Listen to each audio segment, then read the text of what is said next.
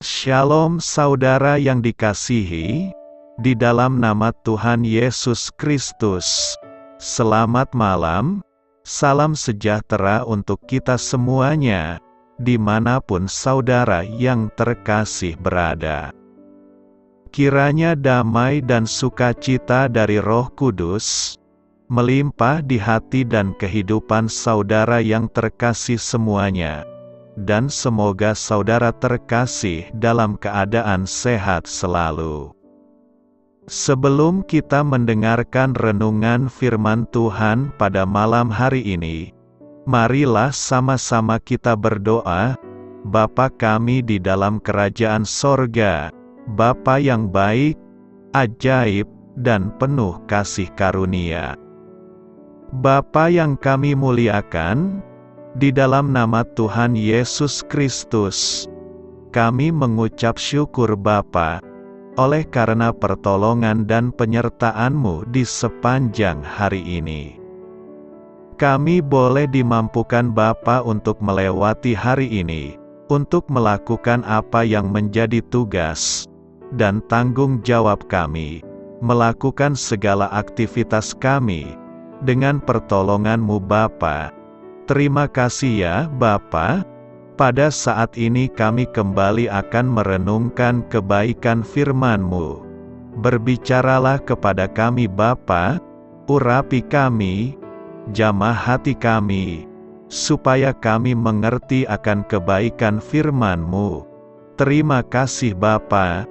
Dalam nama Tuhan Yesus Kristus, kami berdoa. Amin. Sahabat suara kasih, ayat pembacaan Alkitab kita hari ini terambil dari Maleaki 4 ayat yang ke-1 sampai 6, lalu dilanjutkan dengan Maleaki 3 ayat 16 sampai 18. Bahwa sesungguhnya hari itu datang, menyala seperti perapian, maka semua orang gegabah dan setiap orang yang berbuat fasik, menjadi seperti jerami dan akan terbakar oleh hari yang datang itu. Firman Tuhan semesta alam, sampai tidak ditinggalkannya akar dan cabang mereka. Tetapi kamu yang takut akan namaku, bagimu akan terbit surya kebenaran. Dengan kesembuhan pada sayapnya, kamu akan keluar dan berjingkrak-jingkrak seperti anak lembu lepas kandang. Kamu akan menginjak-injak orang-orang fasik, sebab mereka akan menjadi abu di bawah telapak kakimu. Pada hari yang kusiapkan itu, firman Tuhan semesta alam. Ingatlah kepada Taurat yang telah kuperintahkan kepada Musa, hambaku, di Gunung Horeb untuk disampaikan kepada seluruh Israel, yakni ketetapan-ketetapan dan hukum-hukum. Sesungguhnya aku akan mengutus Nabi Elia kepadamu, menjelang datangnya hari Tuhan yang besar dan dahsyat itu. Maka ia akan membuat hati bapa-bapa berbalik kepada anak-anaknya, dan hati anak-anak kepada bapa-bapanya, supaya jangan aku datang memukul bumi sehingga musnah. Beginilah berbicara satu sama lain orang-orang yang takut akan Tuhan, Tuhan memperhatikan dan mendengarnya. Sebuah kitab peringatan ditulis di hadapannya bagi orang-orang yang takut akan Tuhan, dan bagi orang-orang yang menghormati namanya. Mereka akan menjadi milik kesayanganku sendiri. Firman Tuhan semesta alam. Pada hari yang kusiapkan, aku akan mengasihani mereka, sama seperti seseorang menyayangi anaknya yang melayani dia. Maka kamu akan melihat kembali perbedaan antara orang benar dan orang fasik, antara orang yang beribadah kepada Allah dan orang yang tidak beribadah kepadanya. Sahabat suara kasih, ayat emas renungan kita hari ini adalah Maleaki 4 ayat 2 tetapi kamu yang takut akan namaku, bagimu akan terbit surya kebenaran. Dengan kesembuhan pada sayapnya, kamu akan keluar dan berjingkrak-jingkrak seperti anak lembu lepas kandang. Judul renungan kita hari ini adalah Agar Menjadi Terang Bagi Dunia. Ditulis oleh Tim Gulbes, Sahabat Suara Kasih. Dalam gelapnya malam, janji cahaya pagi selalu menghadirkan harapan baru. Demikian pula, Maleaki 4 ayat 2 membawa pesan penuh kehangatan dari kebenaran ilahi. Renungan ini mengajak kita memahami makna cahaya pagi yang menyinari hati kita, membawa kehangatan kasihnya.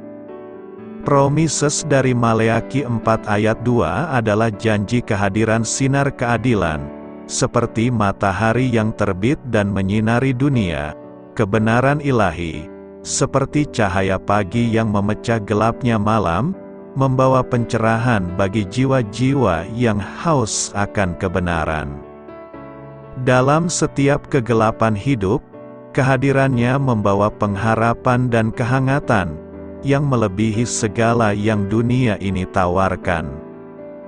Cahaya pagi juga mengajarkan kita tentang kesabaran dan kepastian janji Allah Meskipun malam mungkin panjang, pagi pasti datang. Demikian juga, dalam perjalanan hidup yang penuh tantangan, kita dipanggil untuk bersabar dan percaya bahwa janjinya pasti terlaksana. Kebenarannya adalah cahaya yang membimbing langkah kita untuk menuju hari yang cerah. Ketika cahaya pagi menciptakan bayangan yang indah, kita diingatkan akan keindahan kasih Allah. Sama seperti matahari yang menyinari tanah, kasihnya menyinari hati kita, memberikan kehangatan dan kebaikan yang melimpah. Melalui pengalaman ini, kita diajak untuk meresapi dan menyebarkan kasih tersebut kepada sesama, menjadi saluran cahaya bagi dunia yang mungkin terjebak dalam kegelapan. Sahabat suara kasih, mari kita terbuka dan menerima sinar kebenaran yang ditawarkan Maleaki 4 ayat 2.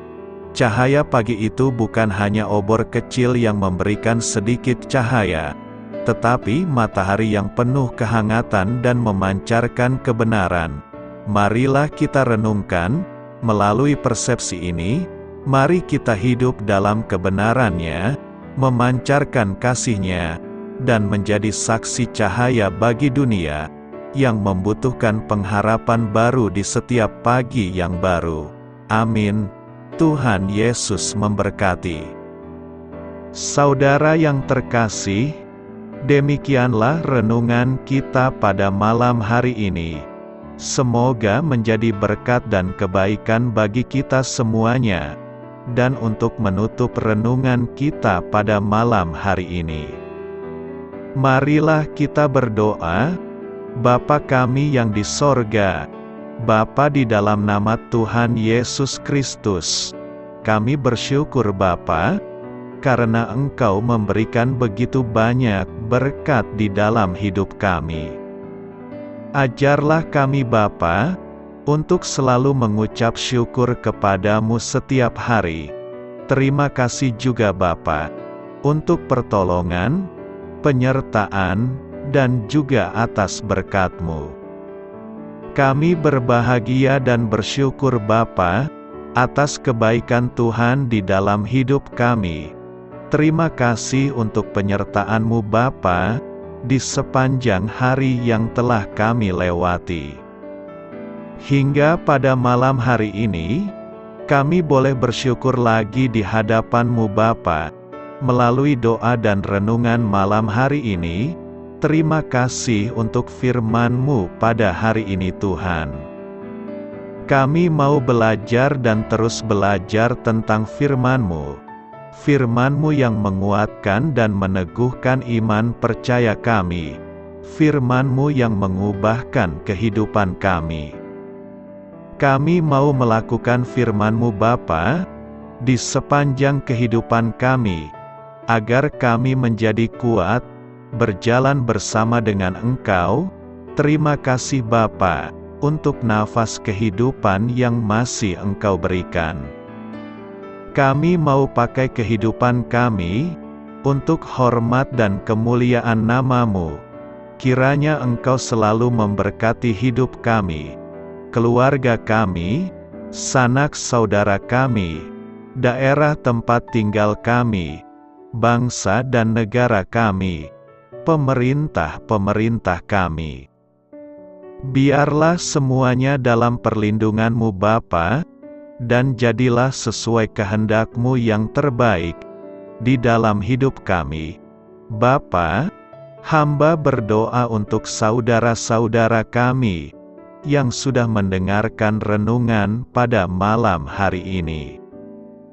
Biarlah yang saat ini sedang mengalami sakit penyakit, pergumulan masalah, kebutuhan ekonomi, kiranya engkau jamah, sembuhkan dan pulihkan kehidupan mereka.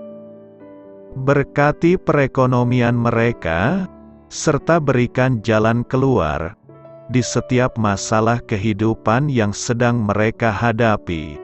Ajarlah kami juga Bapa, untuk selalu berharap dan percaya kepada Tuhan Yesus. Pada malam hari ini Bapa, kami akan beristirahat dalam tidur kami. Kiranya Engkau sertai dan lindungi kami di sepanjang malam ini, sehingga kami boleh bangun besok pagi dengan tubuh yang sehat, kuat, serta diberkati Tuhan. Terima kasih Bapa. Inilah yang menjadi doa dan permohonan kami. Dalam nama Tuhan Yesus, kami berdoa. Amin.